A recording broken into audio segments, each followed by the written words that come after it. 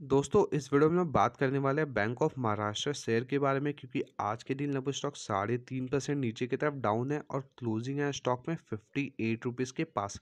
अगर स्टॉक का previous momentum की बात की जाए तो नो डाउट स्टॉक ने ज़बरदस्त मोमेंटम लोग को दिखाया था forty five in fact fifty rupees के ब्रेकआउट के ऊपर। और ऑलमोस्ट स्टॉक फिफ्टी रुपीज़ के ऊपर ट्रेड करें लेकिन स्टिल स्टॉक में देखेंगे तो मोमेंटम आया, थोड़ा करेक्शन है यहाँ से ऊपर की तरफ़ मूव दिखा देना चाहिए।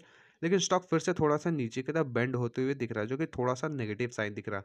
स्टिल जब तक स्टॉक फिफ्टी रुपीज़ के ऊपर ट्रेड करा कोई भी दिक्कत की बात नहीं, एक अच्छा खासा मूव एक्सपेक्ट कर सकते हैं। तो किसी ने क्वान्टिटी एड कर रखा है तो आप सबका स्टॉप लॉस मस्ट भी अराउंड पचास रुपये के पास होना चाहिए, क्योंकि जब तक स्टॉक पचास रुपये के ऊपर बैंक ऑफ़ महाराष्ट्र ट्रेड कर रहा एक पॉजिटिव एरिया में ट्रेड कर रहा है। क्योंकि अगर स्टॉक का प्रीवियस मोमेंटम देखेंगे, स्टॉक मोमेंटम करता है और एक रेंज बनाता है, ब्रेकआउट करता है, फिर देखेंगे कुछ रेंज हम लोग को बनते हुए दिख रहा।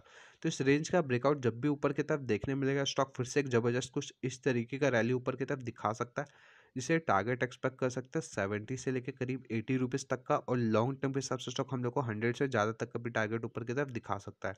लेकिन स्टॉप लॉस ध्यान में रखेंगे जो कि पचास रुपये के पास होगा, क्योंकि पचास रुपये के नीचे निकलते स्टॉक अराउंड फोर्टी से लेके इवन थर्टी रुपीज़ तक का भी फॉल नीचे की तरफ़ दिखा सकता है। तब तक के लिए इतना इस वीडियो में। वीडियो अच्छा लगे तो वीडियो को लाइक करें और चैनल को सब्सक्राइब करें।